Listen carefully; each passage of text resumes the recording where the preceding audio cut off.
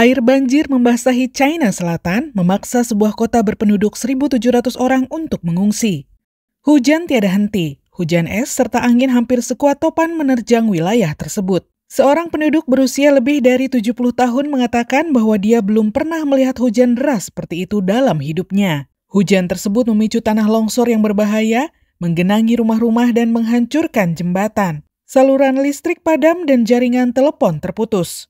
Di sebuah restoran di Provinsi Kuantong minggu ini, pelanggan menatap dengan ngeri ketika angin merobohkan pohon-pohon, sementara hujan angin yang bergerak cepat menghantam jalan di luar. Provinsi itu rawan terhadap banjir musim panas.